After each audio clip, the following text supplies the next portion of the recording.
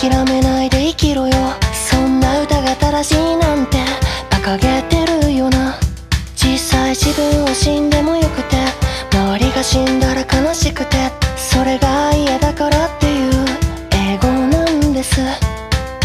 他人が生きてもどうでもよくて誰かを嫌うこともファッションでそれでも平和に生きようなんて素敵なことでしょう。画面の先では誰かが死んでそれを投げ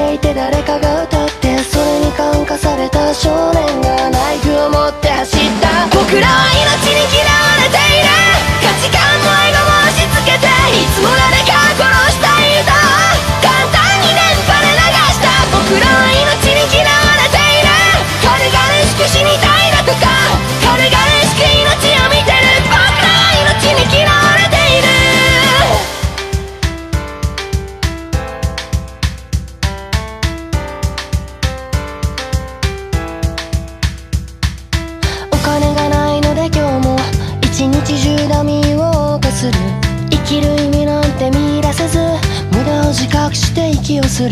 寂しいなんて言葉でこの傷が表せていいものか。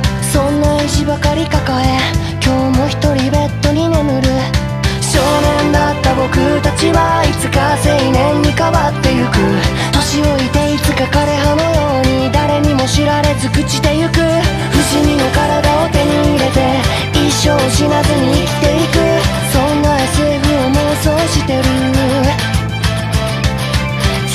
死んでもどうでもよくてそれでも周りに生きてほしくて矛盾を抱えて生きてくなんて怒られてしまう。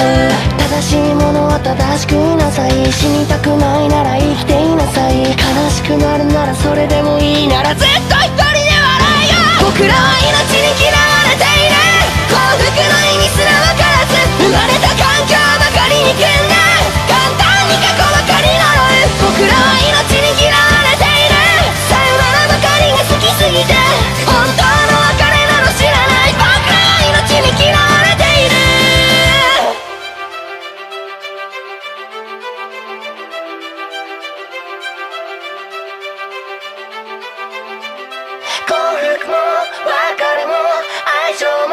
友情も滑稽な夢の戯れで全部金で買える代物。明日死んでしまうかもしれない。全て無駄になるかもしれない。朝も夜も春も秋も変わらない。